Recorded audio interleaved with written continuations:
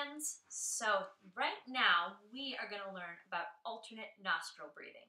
And that might sound a little silly, um, and it definitely looks a little silly, but it's a really cool exercise in yoga.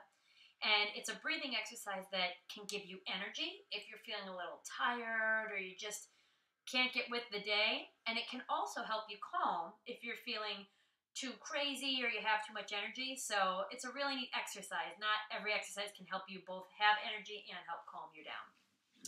So, what alternate nostril breathing is, is you have a nose and you have two nostrils or holes that you breathe through. And we're just going to breathe through each one one at a time. In yoga, if you have this in your practice, you usually use these fingers. You use your thumb and you use your ring finger but for children's yoga, that can get really complicated, and I find it a lot easier just to use two pointer fingers. So I'll scooch a little closer and you can see what we're doing. All we're going to do is we're going to cover one nostril and breathe in. Then you cover the other nostril and breathe out. Really good work. Okay, let's try that again. So then you breathe in. And then switch and breathe out. Good job, everyone.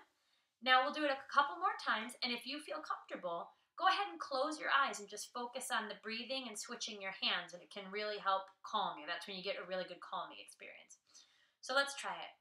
Put your finger over one nostril and breathe in.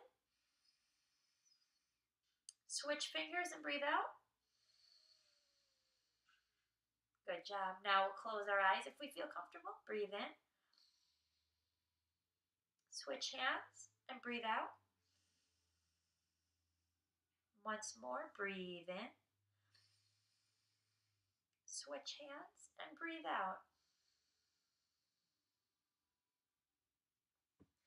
Wonderful, everybody. Thanks for trying and learning that with me. Have a great day.